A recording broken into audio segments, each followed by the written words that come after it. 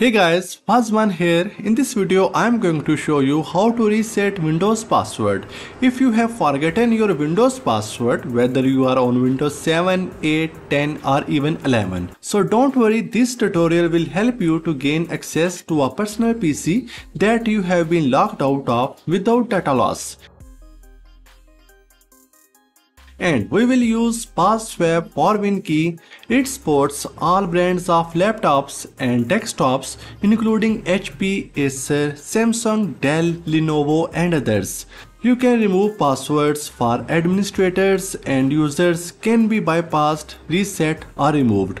So to reset the Windows password, you need another computer that is not locked and a USB flash drive. The very first step to reset Windows password is to download and install the software PassSwap for WinKey on another available computer.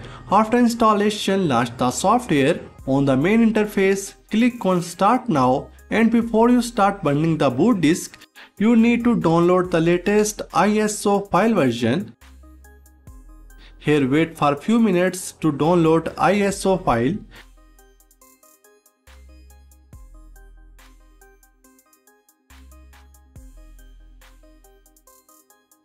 Choose a method to create boot disk, CD, DVD or USB flash drive. If you would like to do it via CD or DVD, then insert CD or DVD into your computer. If you would like to do it via USB flash drive, then insert the USB drive and click on start burning. Note that this will erase all data in your USB drive. Then the software will create a boot disk for you. Wait until it completes.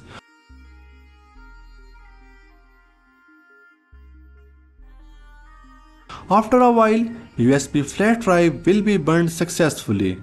Now you can see the brief user guide on the software screen.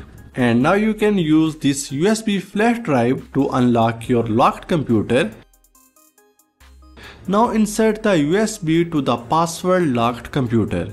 In this part you have to enable your locked computer to boot from the USB disk that you just created on another computer.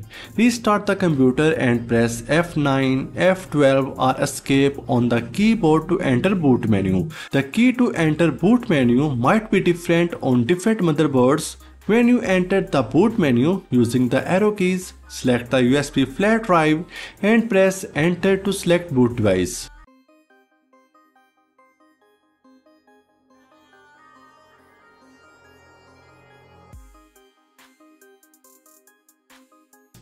Then you need to choose the Windows system that you want to reset or remove the password and account.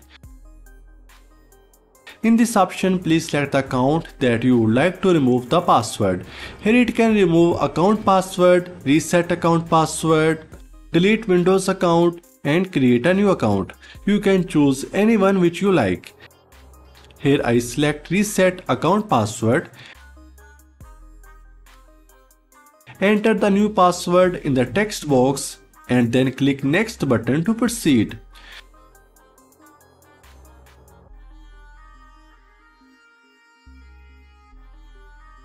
Click reboot button to restart your computer and remove the USB.